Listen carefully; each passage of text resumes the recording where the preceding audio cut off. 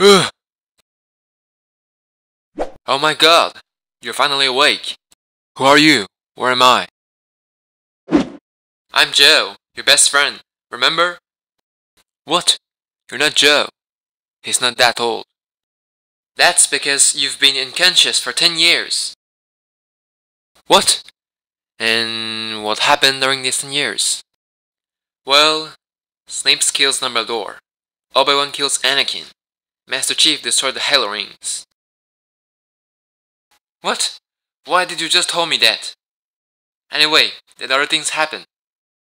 Uh, your brother was killed in a car accident. Your father has been arrested for murder. Your mother died of cancer.